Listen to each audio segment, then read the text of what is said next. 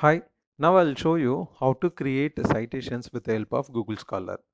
So go to Google Scholar. So usually in student projects, uh, students are not properly structuring their uh, uh, references. So with the, at least they can use this Google Scholar to create the citations. For example, I'm trying to type um, some keyword here. Let us assume that uh, I'm going to cite this particular paper published in uh, in this journal like journal of family and economic issues. So if you want to cite this particular reference in your uh, project work under the references heading means so here you have this option called cite.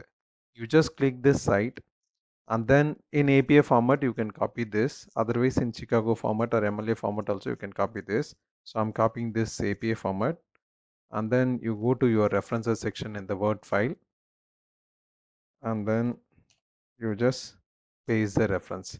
So this is the way how you can uh, create the references properly.